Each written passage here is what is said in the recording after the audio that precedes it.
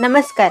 मराठी मुलगी दीपाली या चॅनलमध्ये मी दीपाली आपणा सर्वांचे स्वागत करते. ते आजच्या व्हिडिओमध्ये आपण महाराष्ट्राचे कुलदैवत असलेले खंडोबाचे नवरात्र कधी आहे?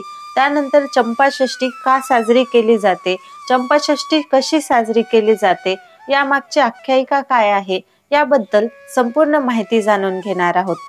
जसं की आपल्या सर्वांना माहिती आहे की श्री खंडोबा हे महाराष्ट्राचे कुलदैवत आहे. मुख्यत्वे करून महाराष्ट्र आणि कर्नाटक या राज्यामध्ये खंडोबाची उपासना जास्त केली जाते. खंडेरायाचे नवरात्र हे मार्गशीर्ष शुद्ध प्रतिपदा ते मार्गशीर्ष शुद्ध षष्टी असे सहा दिवस साजरे केले जाते. मार्गशीर्ष महिन्यातील पहिल्या दिवशी मल्हारी नवरात्र सुरू होते. मार्गशीर्ष शुद्ध प्रतिपदेपासून शुद्ध षष्टीपर्यंत हे चंपाषष्टीचे सहा दिवसाचे नवरात्र असते. यास खंडोबाचे नवरात्र असेही म्हटले जाते. जेजुरीला हा उत्सव खूप मोठ्या प्रमाणात आणि भक्तिभावाने साजरा केला जातो. जेजुरी ह्या गावी मल्हारी देवस्थान आहे. श्री खंडोबारायाचे नवरात्र म्हणजे मार्गशीर्ष शुद्ध षष्टी म्हणजे चंपाषष्ठी या दिवशी खंडोबारायांनी ऋषीच्या विनंतीला मान देऊन मनी मल्लाचा वध करून लिंगद्वय रूपाने तेथे प्रकट झाले होते. या नवरात्र काळामध्ये पाच दिवस उपवास करून सहाव्या दिवशी उपवास सोडतात. तसेच या सहा दिवसांमध्ये देवापुढे नंदादीप ठेवतात. त्यानंतर देवाला बेल दवना झेंडूचे फूल फार प्रिय आहे. त्यामुळे ते पण वाहतात. येथे प्रचंड गर्दी असते. खंड श्री खंडोबारायाच्या नवरात्रीमध्ये आपल्याला येथे भाविकांची अलोट गर्दी पाहायला मिळते.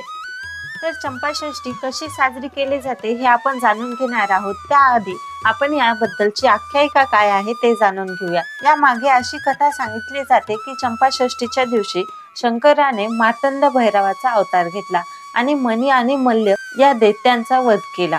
मल्हारी मार्तंड हा महादेवाचा एक अवतार होता. कृतार युगामध्ये ब्रह्मदेवाने मणी आणि मल्ल या राक्षसांना वर दिला होता की तुमचा पराभव कोणीही करू शकणार नाही. हे वर प्राप्त केल्यानंतर ते उन्मंत होऊन लोकांना त्रास देऊ लागले. त्यांचा हा त्रास बघून ऋषी मुनींना देवाकडे मदत मागितली.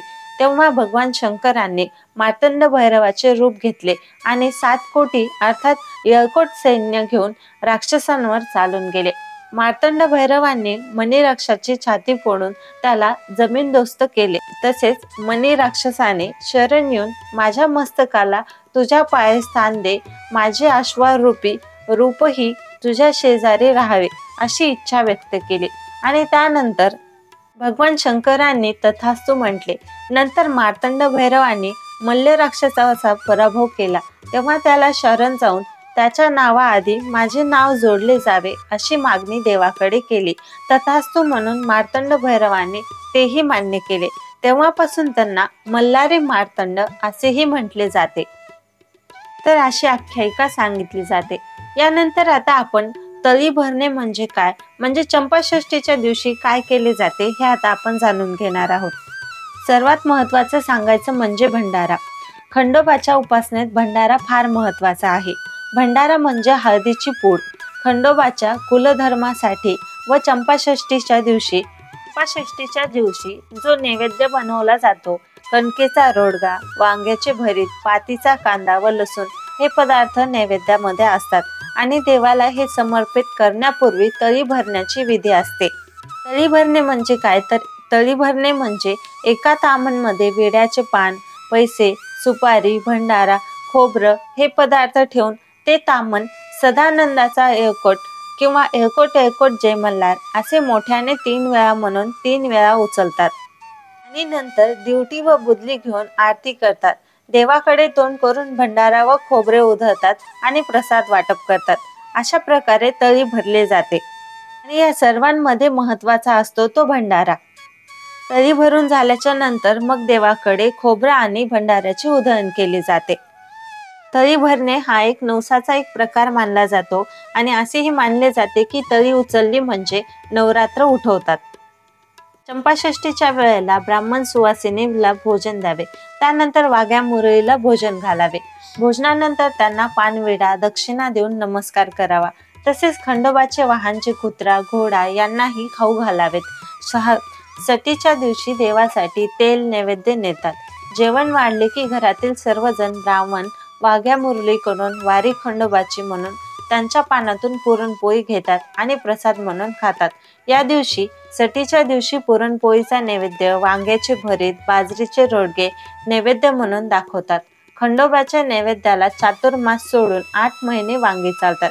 महाराष्ट्रात चातुर्मासात कांदा लसूण वांगी वर्ज्य असते. कांदा फक्त चंपाषष्टीच्या दिवशी चालतो. अशा प्रकारे चंपाषष्टीच्या दिवशीचा नैवेद्य असतो. त्यानंतर या नवरात्राच्या सुरुवातीला वारी मागणी हा एक प्रकार असतो. काही घरातून चंपाषष्टीच्या दिवशी वारी मागण्याची पद्धत असते.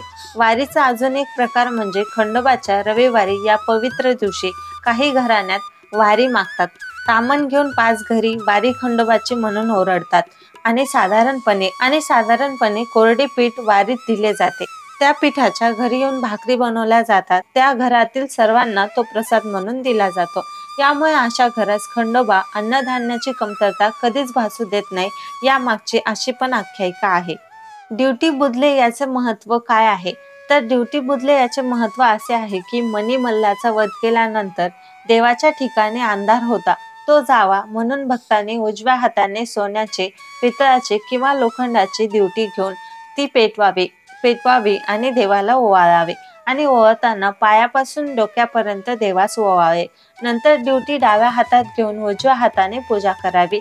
नैवेद्य दाखवावा आणि त्यानंतर नैवेद्य दाखवावा आणि त्यानंतर ड्युटी दुधात शांत करावी.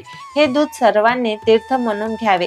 असे हे ड्युटी बुधलेचे महत्त्व आहे. चंपाषष्टीच्या दिवशी जेजुरी येथे आलोट भाविकांची आलोट गर्दी आपल्याला पाहायला मिळते. तसेच चंपाषष्टीच्या दिवशी देवाची पालखी तसेच भंडाऱ्याचे उधळण पण खूप मोठ्या प्रमाणात केली जाते. तर आजच्या व्हिडिओमध्ये आपण चंपाषष्ठी कशी साजरी केली जाते त्यामागची आख्यायिका काय आहे त्यानंतर तळी भरणे म्हणजे काय भंडारा का महत्त्वाचा असतो अनेक गोष्टींची माहिती आपण आजच्या व्हिडिओमध्ये दिलेली आहे. तर आजचा हा व्हिडिओ आपण सर्वांना कसा वाटला कमेंट करून नक्की कळवा. आणि अशाच नवनवीन व्हिडिओ पाहण्यासाठी चॅनलला नक्की सबस्क्राईब करा. Thank you.